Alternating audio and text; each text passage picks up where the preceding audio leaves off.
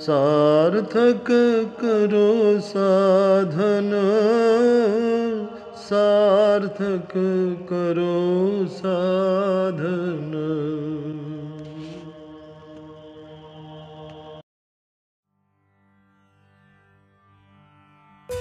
ये महागीत रविंद्रनाथ ठाकुर ने लिखा और हमारे देश इमेजिनिया के लिए राष्ट्रगीत की तरह है। इसमें शब्द साधन का अर्थ क्या है? आँखों पे लगी ये पट्टियाँ हमारे सुख का परम साधन है। न्याय की देवी ने आँखों पे पट्टी क्यों लगाई है? ये एक प्रतीक है।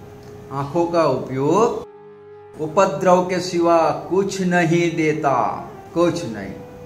और हमारा देश इमेजिनिया पूरी दुनिया में सबसे शांतिमय है।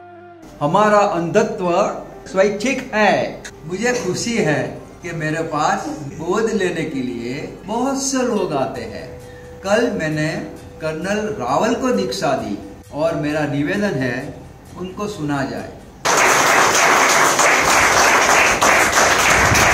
तो मित्रों आज हमारे देश इमेजिनिया को आज़ाद हुए सौ साल पूरे हो रहे हैं और हमारी इस अंधत्व की दीक्षा को 80 साल पूरे हो रहे हैं। इस प्रसंग को यादगार बनाने के लिए इमेजिनिया के चुने हुए वैज्ञानिक, लेखक, विचारक सबको निमंत्रित किया है।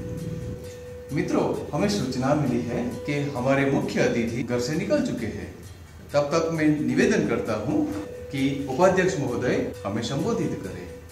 मित्रों, आज की इस सभा में आपका स्वागत है। जैसा कि अंदरशी तिमिर प्रिय जी ने कहा कर्नल रावल को अशार चक्षु पार्टी में शामिल कर लिया गया है। मैं उनसे निवेदन करता हूँ वो अपनी बात रखें। आइए कर्नल साहब। प्रोफेसर ये क्या है? आँख होते हुए भी अंधे की तरह चलना?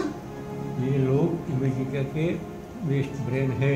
आदरणीय मित्रों मेरे पिताजी ने फौज से रिटायर होकर तीन महीने में अंधत्व की दीक्षा ले ली थी, क्योंकि तत्कालीन प्रधानमंत्री ने हमारी जीती हुई ज़मीन दुश्मन को वापस कर दी। कल मैं टीवी देख रहा था। हमारे युवा नेता ने प्रधानमंत्री का ऑर्डिनेंस फाड़ के फेंक दिया। अब देखने को क्या बचा। इसलिए मित्रों, स्वामी तिमिर प्रिय मैंने भी कल अंधत्व की दीक्षा ली। कर्नल साहब आपने टीवी में कुछ देखा और अंधत्व की दीक्षा ली। ये तो निराशा की बात है जबकि अंधत्व तो अपने आप में फलसफा है। अभी आप नए हैं बैठ जाइए। ये अंधत्व भेड़ चाल है भेड़ चाल ये कौन बोला कि हमारा अंधत्व भेड़ चाल है? मैं एक पत्रकार हूँ। आपके देश पर आपके समाज पर आपकी डेमोक्रेसी पर पुस्तक लिखने के लिए आया हूँ। मुझे बताइए अन्याय का विरोध करने के स्थान पर इस तरह अंधत्व की दीक्षा। क्या ये कायरता नहीं है?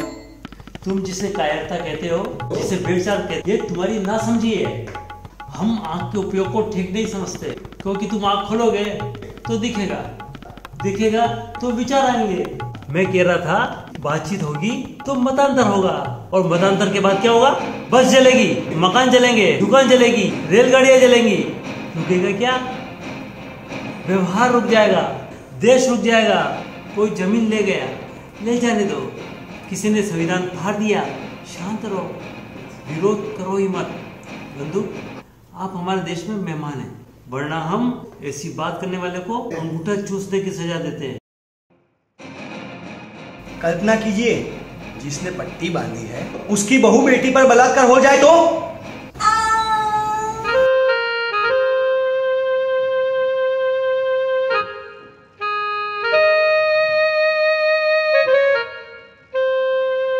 हिम्मत रखो। इतने सारे लोगों में कोई एक तो हो इन आंसुओं को कोई तो समझे। सुना इस श्लोक को आपने।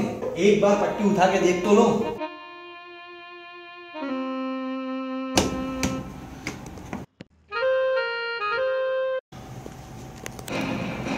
चुप रहना वरना घर जला दूँगा।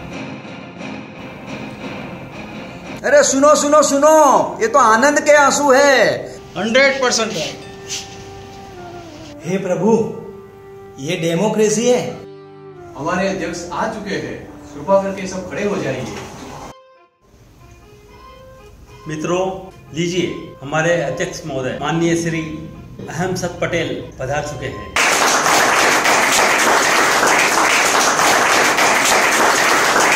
इनके बारे में आपको बता दूँ इनका पारिवारिक नाम अरिहत पटेल है। लेकिन दुनिया इनको अहमसद पटेल कहती है। क्योंकि ये जो कहते हैं राजपुरुषों को अच्छा लगता है सत्य लगता है। मित्रों बोलिए अहमसद पटेल। जिंदाबाद जिंदाबाद। अहमसद पटेल। जिंदाबाद जिंदाबाद। अहमसद पटेल। जिंदाबाद जिंदाबाद। अहमसद पटेल। जिंदाबाद जिंदाबाद। अब मैं विनती करता हूँ सेठ सूर्य प्रकाश जी से कि वो स्टेज पर आए और अहमसद जी का स्वागत करें।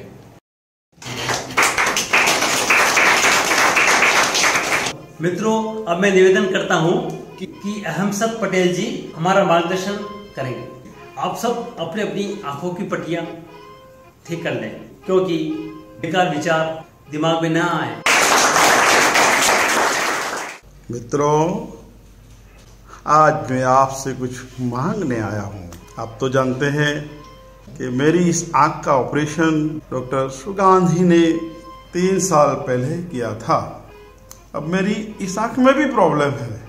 तो मैं अस्पताल पहुँचा, पता चला, अब डॉक्टर सुगांधी तो है नहीं, लेकिन उनकी पोती है। तो आप देखिए, पोती और दादी में कोई अंतर नहीं। वही बाल, वही आँखें, वही रंग, वही रूप, वही ऊंचाई। अरे, नाक भी वही, हूबहू वही है। तो मैंने उनसे कहा भाई जब तुझे ईश्वर ने दादी जैसा ही बनाया है तो मेरे ऑपरेशन कर दे। Hundred percent. Yes yes hundred percent. तो उसने कहा नहीं मैं वकील हूँ मैं ऑपरेशन नहीं कर सकती। अब बताओ ये भी कोई बात हुई? मैंने उसे कहा कि ऑपरेशन कर देश की भलाई होगी। और देश की भलाई से कोई बड़ा काम है नहीं। रही कानून की बात तो हम बदल देंगे। आज ही बदल देंगे। ऑपरेशन तो करना ही होगा। मैंने कुछ गलत कहा? मैंने कुछ गलत कहा? मुझे मालूम था कि आप मुझे समर्थन देंगे। आई एग्री तो चलिए मेरे साथ। पहले हम जज साहब के बंगले पर जाएँगे। वहाँ मेमो देंगे और मैं वहाँ नारा दूँगा कि पोती को ऑपरेशन करने दो करने दो। पोती को ऑपरेशन करने दो करने दो। पोती को ऑपरेशन करने दो करने दो। वहाँ से हम चलेंगे अस्पताल और त्रिशंका को बाध्य करेंगे। वहाँ हम नारा देंगे कि जो भी हो ऑपरेशन करो ऑपरेशन करो। जो भी हो। जो भी हो ऑपरेशन करो जो भी हो ऑपरेशन करो जो भी हो ऑपरेशन करो ऑपरेशन सुबह तक कानून की बारह बजा देंगे और वकील को डॉक्टर बना देंगे। यही लोकतंत्र है। यही तो लोकतंत्र है। तो चलिए बाहर मेरी बस में बैठ जाइए। आइसक्रीम लीजिए मैं आ रहा हूँ। सार्थक करो साधन सार्थक करो साधन। लो इंद्रदेव सुप्रीम कोर्ट में जाओ तो कोर्ट के ऊपर पहन लेना। उपाध्यक्ष जी जब ऑपरेशन की बात आएगी ना तो दिग्गी राजा और कंपित सिंपल साहब का ऑपरेशन होगा। समझ रहे हो ना? आप यही लोकतंत्र है। यही डेमोक्रेसी है। बिल्कुल।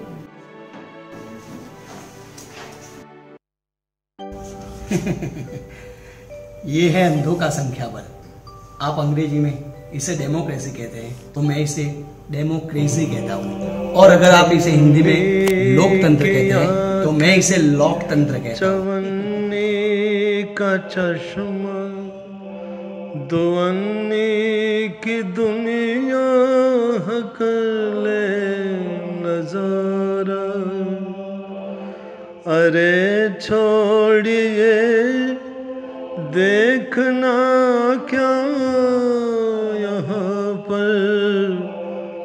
रुपल्ली का रब है, मगर बेसहारा।